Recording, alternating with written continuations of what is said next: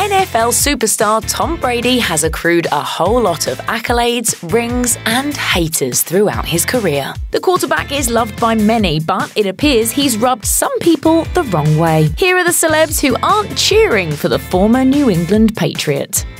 Tom Brady is great. He's been great for a long time. And anybody that hates on him is just a hater.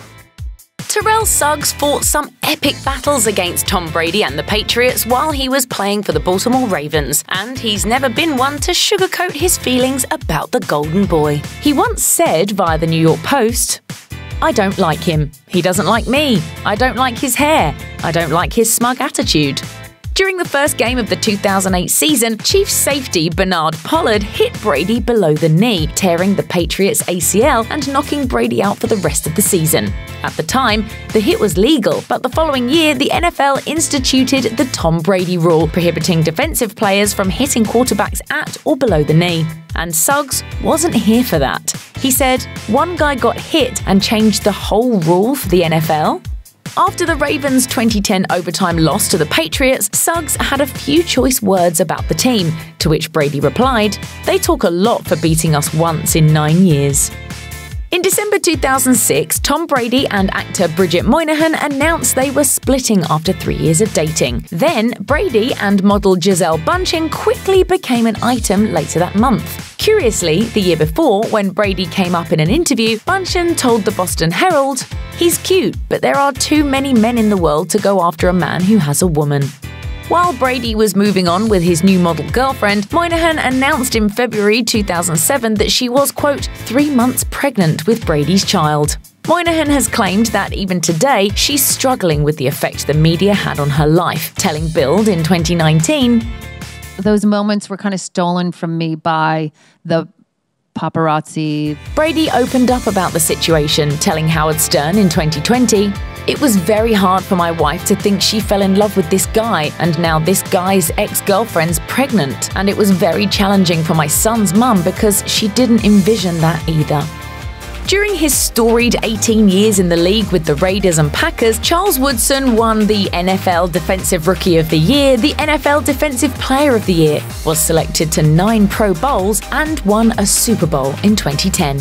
Still, he blames Brady for robbing him of a second Super Bowl back in 2002. Stop. Stop right there. Roll it back. It happened in the infamous tuck rule game, where Woodson stripped the ball from Brady late in the fourth quarter, but the fumble was overturned by officials due to an obscure rule. The call allowed the Patriots to beat the Raiders and advance to the 2002 Super Bowl to begin their near two decade dynasty. By 2013, 29 of 32 NFL teams voted to eliminate the tuck rule. Woodson told the NFL Network in 2014 if they make the correct call, which they did at first, then they overturned it, this 10 game playoff streak that Tom Brady has, it never happened. Tom Brady owes me his house, everything, because they overturned that call. That's the worst call in the history of all sports.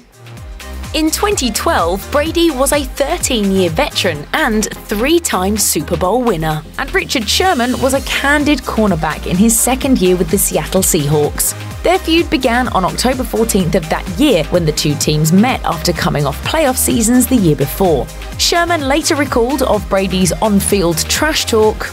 He looks up at the scoreboard and looks back at us. He's like, uh, come see me after this win. So after the game, they didn't win, but I still came and saw him. and see him he did. As a dejected Brady walked off the field, a photographer snapped Sherman, letting some post game trash talk rip. Sherman tweeted that pic with the caption, You mad, bro? Sherman said via the Daily Mail, I think people somehow get a skewed view of Tom Brady that he's just clean cut, does everything right, never says a bad word to anyone. We know him to be otherwise. Well, Tom Brady is a little more talkative on the field than a lot of people may be led to believe. but Brady was ready with his own response to Sherman. He said via ESPN, my dad taught me at a young age to play with class and respect, and certainly I have a lot of respect for the Seahawks.